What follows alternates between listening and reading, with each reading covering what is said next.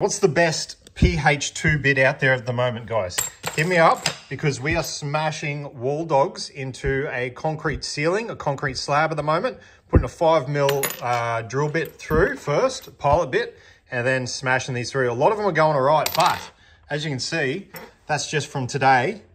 We have used a heap of different bits. A lot of them are just snapping.